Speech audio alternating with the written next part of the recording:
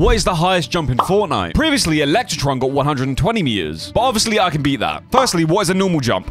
One meter? Then I tried a Flowberry Fizz with a banana. So banana and Flowberry. How high will I go? 113? How is this possible? So then I got the medallion that gives you super speed and super jump. Combine that with a banana and Flowberry. We should go higher than 120, right?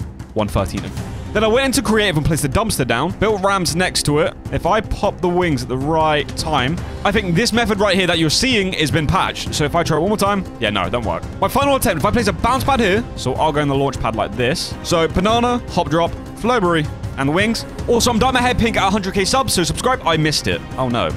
Wait, I'm still going up quite high. Wait, no. Am I gonna beat the record? 110, 120, 140, 150?